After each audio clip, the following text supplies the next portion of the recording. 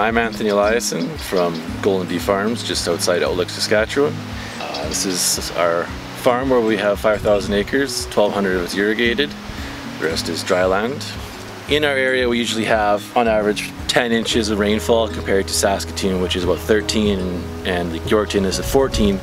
So irrigation gives us a way to play catch up and give us access to those higher value crops.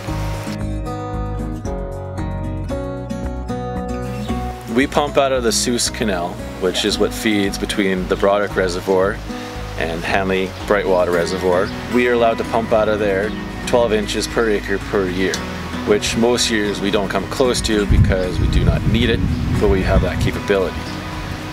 The Broderick Reservoir is filled by the M1 Canal, which is owned by the Water Security Agency, and that comes from Lake Diefenbaker and flows all the way across country to Broderick. We have the four pivots that covering 1,200 acres and with them we allow us a nice way to have a crop rotation, keep everything sustainable. And usually we have more specialty crops under irrigation like dry beans and faba beans which normally we can't grow on our dryland acres.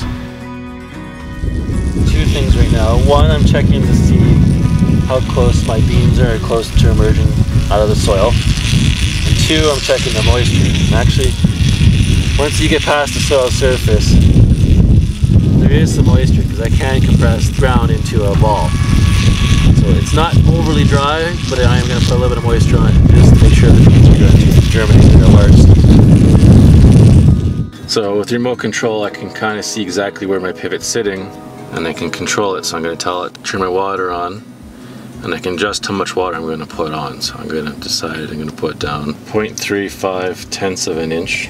And from that, it'll tell the pump to turn on and once the computer at the pivot point decides there's enough water pressure there, it'll actually tell the pivot to start turning around in a circle.